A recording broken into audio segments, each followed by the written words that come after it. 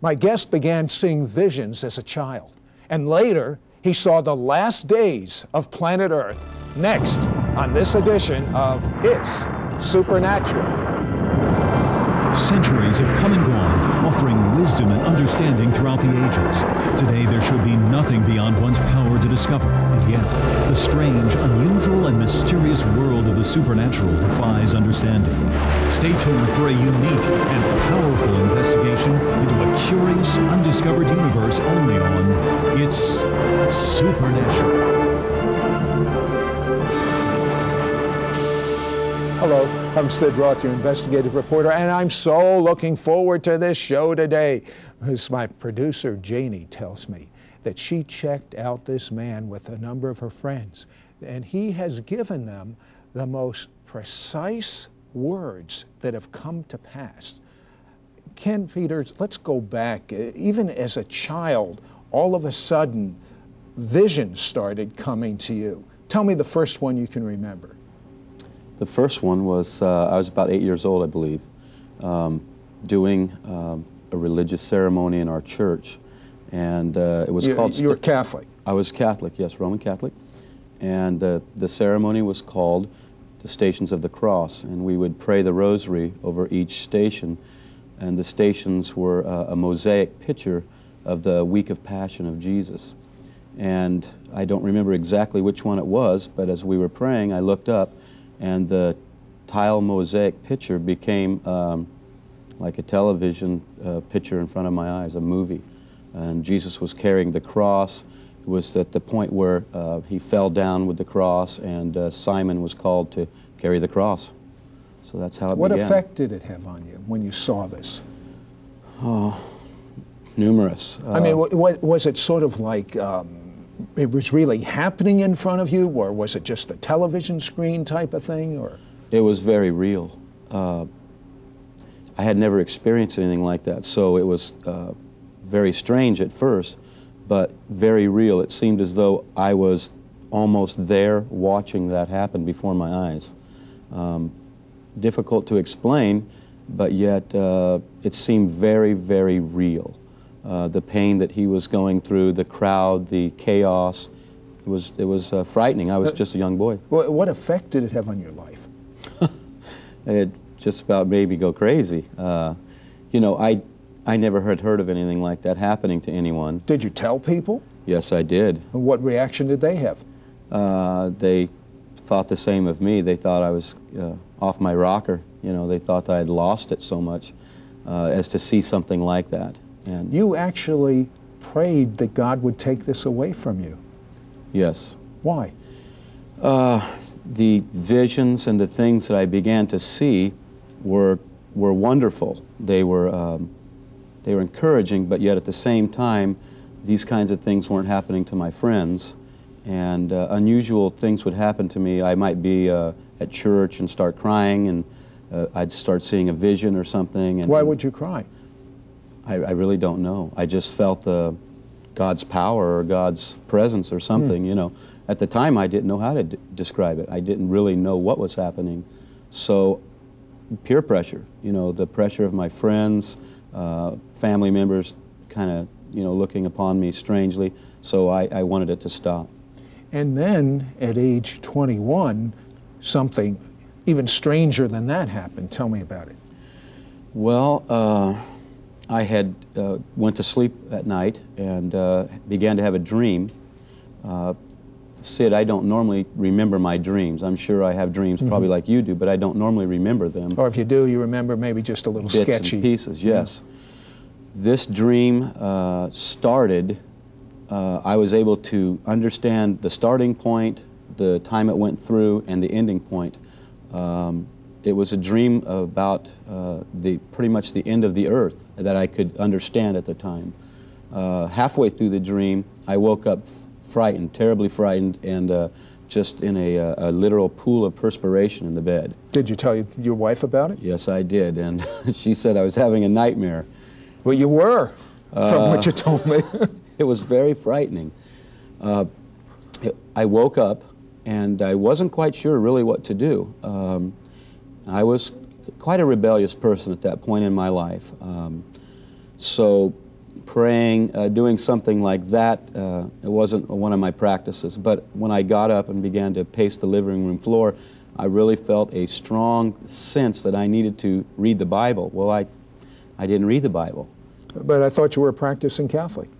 Well, I, I was, but uh, I didn't read the Bible. You know. Okay, so you, you had a Bible at least. Uh, well, I actually, in the, uh, it was about 3.30, 4 o'clock in the morning. I went out to my garage and began to look through all the books that I had in boxes, and I found a Bible and ended up bringing it into the house, sat down in a rocking chair, and uh, part of my habit is to always flip from a magazine from the back. And so I flipped to the back of the Bible and uh, started at a portion called the Apocalypse. And I thought, well, I'll, I'll read this. I mean, I don't know what this means. Never had read it. Began to read um, maybe three, four, five chapters. Is this like the book of Revelation? Book of Revelation. Okay. Uh, it didn't say that in my Bible, though. you know. Okay. Uh, so that was pretty foreign to me. It But- didn't say it in my Bible either. I come from the Jewish background, but that's okay. Well, I wasn't quite sure what it was. You know, I really wasn't sure what apocalypse even meant.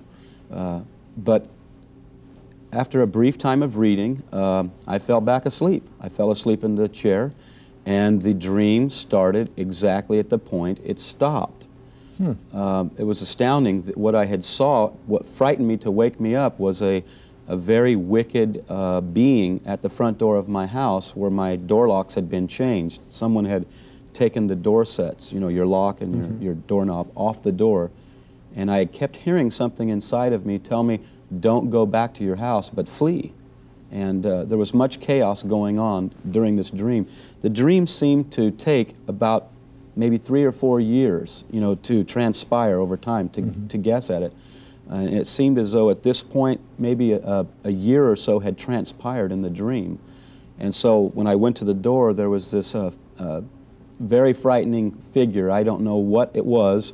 It looked uh, like a human. It was very uh, dark, uh, sinister looking, very frightening. And so I slammed the door shut, and that's when I woke up. Well, when I fell back asleep in the chair, the dream started at that exact point. And so I ran, I fled. And uh, from that point, uh, I met an individual who began to tell me about Jesus. And, uh, you know, he began to tell me what had been going on because there was chaos. Uh, the police were no longer um, the law enforcement officers, but it was more like a military. Uh, I saw some uh, military vehicles that recently I've seen now that I didn't know were in existence that now are. you saw them in your dream, and Saw they didn't the even dream. exist at that time. Exactly. Saw them in the dream, didn't exist. Uh, at least to, to my knowing, I had never saw them in any you know pictures or anything. Um, so what had happened is this man uh, began to express to me uh, the plan for uh, a person to be uh, converted to, to faith in Christ. And uh, so I agreed with him. And then he began to expound to me what was going on in the world because it was almost undescribable, the chaos. Hold that thought. We're going to be back in a moment. We're going to find out exactly what he saw for the last days of the world. Don't go away. Be right back.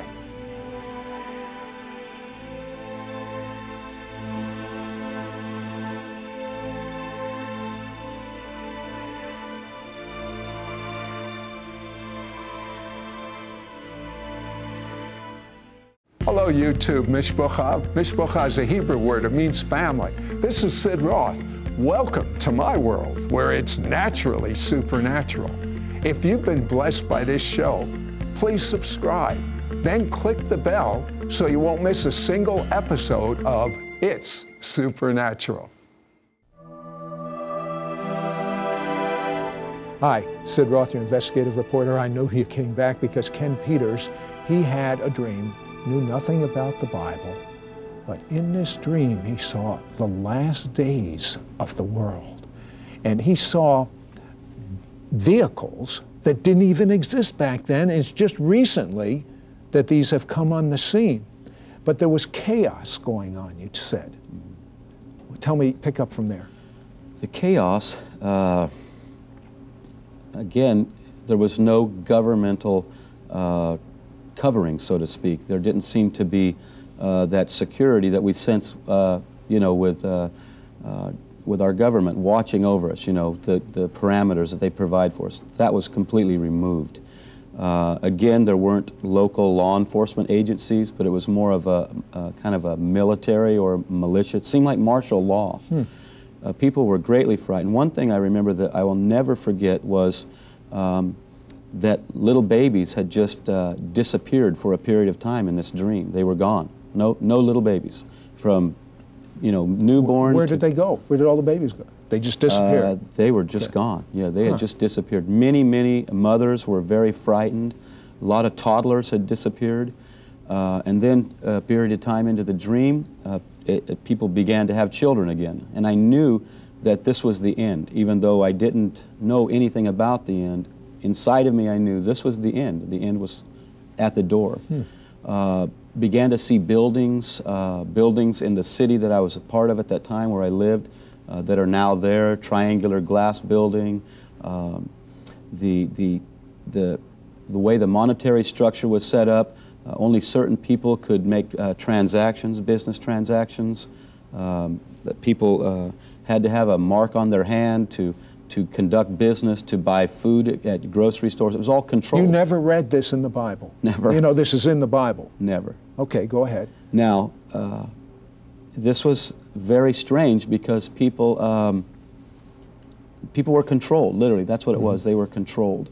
And there was a, a great sense that um, they were being watched almost, you know. So uh, what had happened was, again, like I said, uh, this man led me to faith in Jesus I began to work with him to try to spread this news to others. And the thing that uh, really impressed into my thinking was that he said that, that the Christian people, those who had faith in Jesus, any who had faith in Jesus, were taken, and they were taken to heaven. And that uh, was such an empty feeling to me. Was that where the babies went? Uh, I assume so, Sid. So, I, I believe so. Okay, I do ahead. believe so. So, um, the words that he said were so real to me um, that I received them. I really embraced them as truth, and I, I, knew inside of me somehow that these were truth. So you were left. You I were left, left, there with, in this chaos. Yes. What else went on? Uh, well, after a short period of time, we began to kind of help uh, uh, these children. Many children were abandoned. Much, uh, much fear was working through people's hearts. A lot of people were abandoning their children. Uh, people were committing suicide on a regular basis. It was very frightening times. So we began to try to help people that were in uh, desperate straits. And eventually we were uh, captured by the uh, militia. And we were told to hmm. stop hmm. doing what we were doing. And uh, at that point, we, we continued to do it. Then they took us in again and interrogated us and told us that if we didn't stop, there would be severe penalties. They never at first were very clear about what the penalties would be other than they would just be severe. And uh, at that time, we just continued to say, well, this is what we believe God has called us to do, and we can't stop doing this. The one thing that seemed strange was I didn't notice any religious freedoms uh, for any people groups, none. Eventually, they uh, took us into this room, did further interrogation, and uh, we pretty much decided we were not going to follow uh, the directives that they were giving us. And then they finally led us into this huge corridor uh, in this building. It seemed to be 50, maybe 100 yards long with all these people lined up.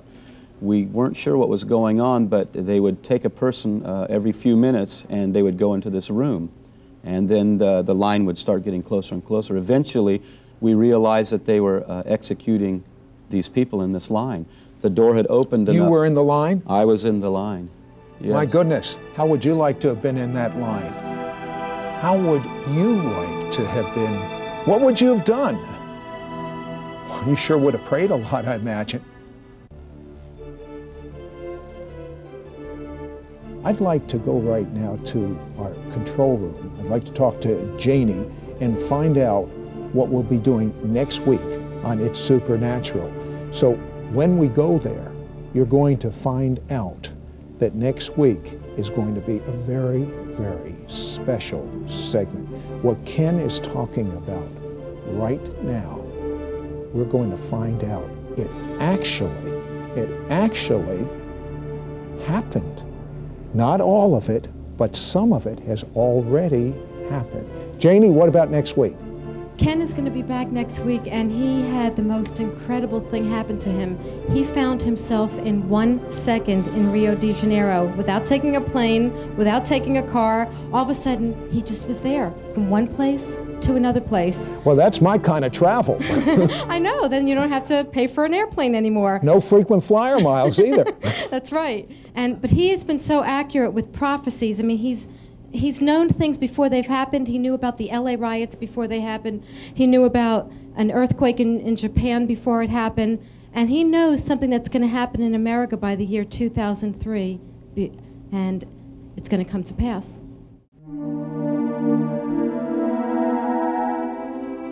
Hi, Sid Roth, your investigative reporter.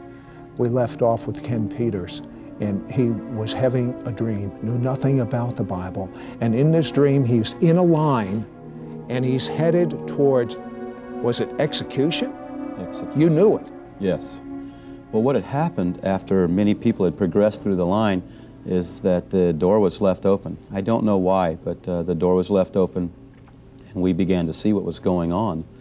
Uh, the gentleman I had talked about and I, and uh, we were in this line proceeding forward, and uh, began to see people uh, being beheaded, literally uh, losing their lives, and uh, great fear came on me uh, when I saw that happening because I, I, I wasn't sure what was going on behind that door. Listen, something be wrong with you if great fear didn't come on you. Oh, Sid, it, the fear was indescribable. It felt like my body was uh, having the extreme chills and, uh, you know, uh, almost beside myself. And I began to uh, be afraid that I would uh, deny my faith in Jesus, that I wouldn't be able to go through with this. I was petrified, literally. And uh, I began to just cry out. I can't s- tell you that I began to pray. It was more of a crying out in desperation because you know, I was fearful that if I denied uh, Jesus, then what would what would happen to me? You know, to me it was more real than the death itself. You know, I was more frightened of, of the denial. You know, so I cried out and I just basically said, uh, "Lord, please help me." That was a real simple prayer, but uh, at that Not, not a classic prayer, but an honest prayer. honest from the heart. Right. So as soon as I said that, Sid, I, I felt someone touch my shoulder, and I, I looked back behind me because when my shoulder was touched, uh, I just felt warmth go through my whole body. Again, I had I was almost, you know, my teeth were almost chattering mm-hmm. because of the I, I was chilled almost with this fear, great fear. And when I had the warmth run through me, I looked back about like this, and it was Jesus standing behind me. And, you know, a million thoughts could run through your mind if you could explain them in a matter of milliseconds, but I couldn't, except that great peace just flooded me. And then he spoke to me, looked right into my eyes, spoke to me, and said, Fear not, for death will never hold you. And uh, beknownst to me what those words meant, uh, I was coming up to experience death. And just a few moments later, the individual that was ahead of me uh, was executed, and then it was my turn. And, and uh, they asked me, uh, it was strange because they could tell the people that were going to crack. They could tell, and there were some that left the line, you know. What do you mean by crack? Uh, just Deny uh, the Lord? Deny, yes, deny the Lord, yes. And so uh, I think they had noticed that in me previously in the line. And so they asked me again, and I said, No, um, Jesus is Lord, and uh, I can't deny faith in him. And uh, so the executioner, uh, you know, they put me uh, uh, in the position to be killed. And as soon as the, it was a sword, as soon as the sword touched my neck, I mean, the moment it touched me, I was gone. And there I was with the Lord looking upon the whole scene. Uh, it was phenomenal. I mean, instantly in His presence, away from what I was experiencing in death and uh, witnessing all of it. Immediately at that point, the executioner took off his mask and said, I, I will not kill any more of these people. And then did you wake up? And then I woke up. How did you feel? I, uh, very confused, uh, very uh, um, besides myself, really. I Now, can't. now, now you, you knew religion, you went to parochial school, but you, you told me you really didn't know Jesus at no, the time I mean, of the dream. No, I didn't. I mean, I, I knew about God. I knew about Jesus. Uh, you know, I went to church every Sunday and, and saw a cross in the church and, and uh, the whole uh, religious uh, part that I was a part of, but didn't have a, uh, a relationship with God uh, as, a, as like you and I would have or something. You know what I mean? So it was foreign to me. It wasn't something I could perceive. So what happened next? Uh, I went uh, and wrote everything down that I could remember. It was so vivid. It was in Technicolor, literally. So I wrote it down, and I worked with a Christian man. He was uh, one of the finest men I'd ever met, and I, I, I just uh, literally uh, I, I harassed the man daily, but I knew that he was a genuine. Uh, Why did you harass him? Um, probably just because I was a very ornery individual. he was. he just he was filled with love, literally. I would harass mm. him and he would never respond in anger. Ken, how do you know that dream was true? Uh, I believe it was true because of the things that I couldn't have known about beforehand that have happened now. Um, things that weren't in existence that are now in existence. The way, uh, one thing I saw was a, a, scanner for hands in grocery stores mm -hmm. and in, in, retail centers. And uh, uh, recently I was even in a retail center where the exact uh, scanner, I saw it showed a hand uh, with a with a uh, like a beam coming off this, and I asked the lady at the counter. I said, "Well, what's that for?" And she says, "Well, eventually they're talking about uh, putting some type of a uh, implant." So that all people have to do is just put their hand through here to have their transactions done. So there's no need for checks and credit cards and money. And so I had seen these things um, before they were in place. Now, you said that something caused you to want to read the Bible. Mm-hmm. Tell me about that. Uh, you know, Sid, at the time, I didn't know that God would speak to people uh, on a personal level. My perception of him was he was far away, uh, you know, he was out in the universe somewhere and he was way too busy. And uh, I've come to know through the years and realized at that moment that God was speaking to me. So when I took this dream to this individual, he began to tell me that God is trying to speak to you. And he's the one who told me these things that you have shared with me are right out of the Bible.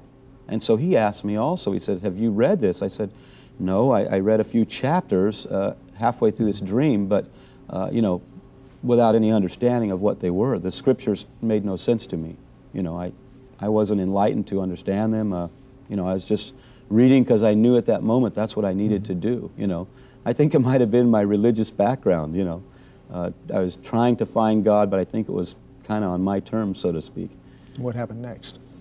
Well, uh, he began to tell me that I needed to be saved from my sins, and uh, I I didn't like that. I did not want to hear that. Uh, I enjoyed my lifestyle. So I asked him, do, do I need to become like you? Because I didn't know what it meant to be saved from my sins. I, I wasn't quite sure of that. Uh, I had an understanding of, of, of, what happened to a person when they die. Uh, I believed that, you know, if you were okay, you'd go to purgatory. Uh, if you were real terrible, like a murderer, you know, you might go straight to hell. But uh, so I didn't understand that concept. So he said, uh, you need to accept Jesus as Savior and Lord. And so I said, well, do I have to be like you? Because I, I really wasn't ready to give up. Uh, you didn't want to become like him? No, no, not really. So uh, what happened was uh, I, I said, well, uh, do I have to quit doing the things I'm doing? And he said, well, kind of yes, kind of no.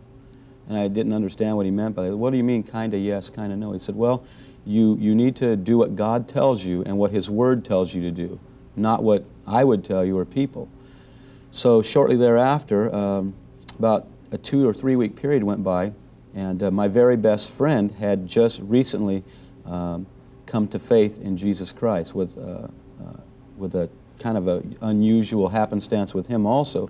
He had visited me and uh, talked to me about that, and it was very strange to me, but I, I, knew I could trust him. I've known him since first grade, you know, it's just a young mm -hmm. boy.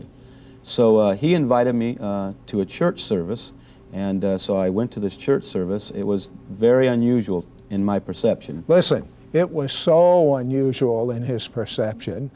Something happened that normally doesn't happen. The pastor knew things that were going on inside of Ken, and he had no way of knowing it. And then this gift started getting refined and he began to know things about the future. So next week, he's going to be coming on It's Supernatural. And I believe he's going to tell you some very, very specific things, maybe about you. In the meantime, I challenge you to read the book of Revelation. It's the last book in the Bible. And you'll find it lines up exactly like what he just told us in this dream. In the meantime, as you read the book of Revelation, don't wait till next week. Get right with God. Get to know Him. He's so wonderful. God is such a wonderful person. He loves you. He has a purpose, purpose, purpose, purpose for your life. Read the book. Come on back next week. Say a prayer to